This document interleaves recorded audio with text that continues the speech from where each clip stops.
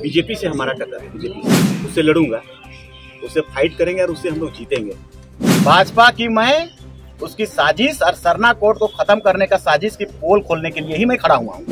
तो वो जो सरना कोड वाला जो मामला है, असल में आप ऐसा कहेंगे तो अतिशयोक्ति नहीं होगा कि मेरा लड़ना भी उस चीज़ को पाने के लिए ही है।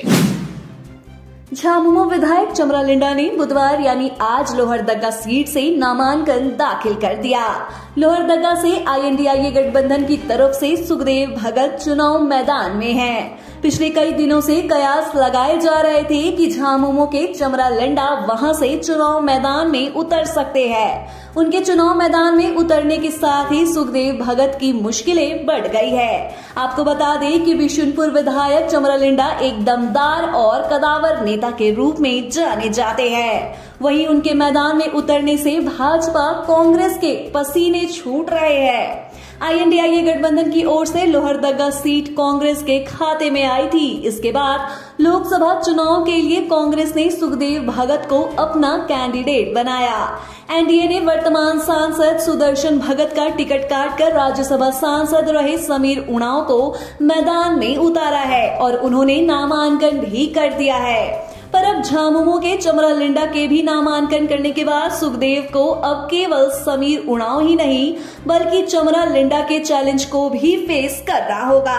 जनता के बीच आईएनडीआईए गठबंधन के दो दो कैंडिडेट दिखने से उहापोह की भी स्थिति बनेगी। अब यह भी संभव है कि पूर्व मंत्री एनोस एक्का की झारखंड पार्टी भी चमरा को सपोर्ट दे।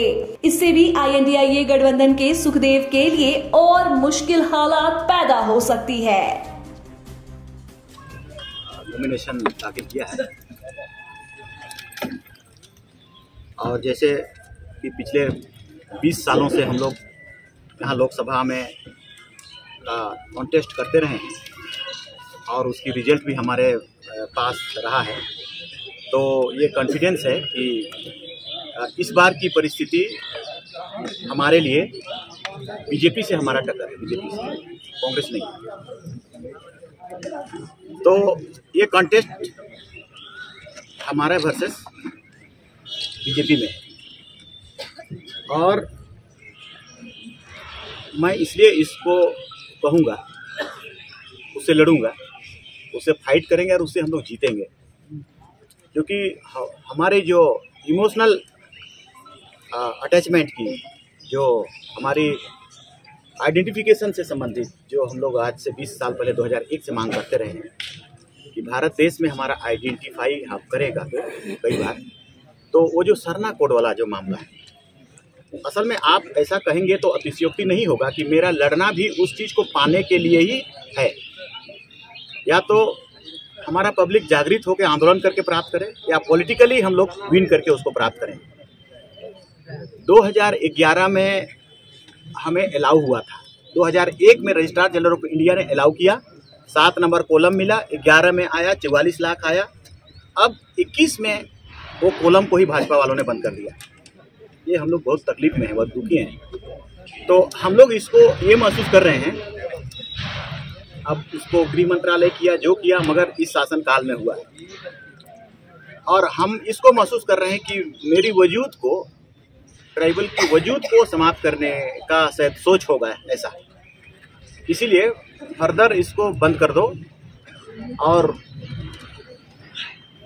ऐसे इसके पीछे बहुत सारे कारण हैं, क्योंकि हम ऐसा समझते हैं कि ये जो धर्म का कोड हमारा नहीं होना, और होने से हमारी बहुत सारी संवैधानिक अधिकार जो है, कानूनी अधिकार है, संविधान का अधिकार है। जैसे 275 का वन है। जैसे 13 का ए भी है 350 का क भी है 244 का वन भी है वन भी है C N T act S P T act है। इस पर किसी तरह का कंटिन्यूटी या आइडेंटिफिकेशन नहीं हो पा रहा है, क्योंकि इसमें बोला जाता है कि भाई, भारत में आदिवासी है ही नहीं। तो हम लोग इस चीज़, इस क्राइसिस से हम लोग जूझ रहे हैं। हम अगर जीत जाते हैं तो कानून का जो प्रतिबंध है, निर्दलीय में सबसे ज़्यादा है। एक निर्दलीय जीता हुआ कोई कैंडिडेट किसी पार्टी में भी चला गया, दूसरे क्षण उसकी सदस्यता समाप्त हो जाएगी। ये टेंथ शेड्यूल का मामला है। और हम उसको लेते आए हैं, आप सबका। अगर कहें तो आप लोगों को हम लोग दे सकेंगे। मगर हम मेहनत करके, परिश्रम करके, जनता को से वोट लेकर के जीतेंगे। और क्या हम सदस्यता को ख़त्म करने का कोई आ बैल मुझे मार या अपने पैर में कुल्हाड़ी कोड़ेगा क्या? इम्पॉसिबल और ये मैं तो ऐसा कहने का सवाल ही कहाँ है? मेरी ये लड़ाई अभी से क्या है? 2004 से है। 2004 में कोई आरोप नहीं लगाया। 2009 में कोई आरोप नहीं लगाया। 5000 वोट से सिर्फ़ हम हार हुई है। तब भी नहीं आरोप लगा। चौदह में हमेशा कभी नहीं आरोप लगा। अभी क्यों आरोप लगेगा? जब मेरी कॉन्टेस्ट उससे है मेरा नहीं एक बात को मैं कह रहा हूँ कि कोई व्यक्ति ये सारा सं- संसाधन संपत्ति आम जनता से उसकी तो पॉलिटिकल करियर खत्म हो जाएगी अगर वो ऐसा करेगा तो। कहते हैं भाजपा के आप एजेंट हैं आप इसको मानते हैं कि नहीं मानते?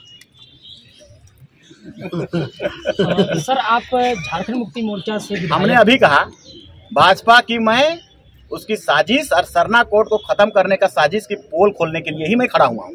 गुड कैसे हुए हम एजेंट उसका? अपने राज्य से जुड़ी हर ताज़ा खबरों के लिए आप हमें सब्सक्राइब करें, साथ ही बेल आइकन बटन दबाना ना भूलें।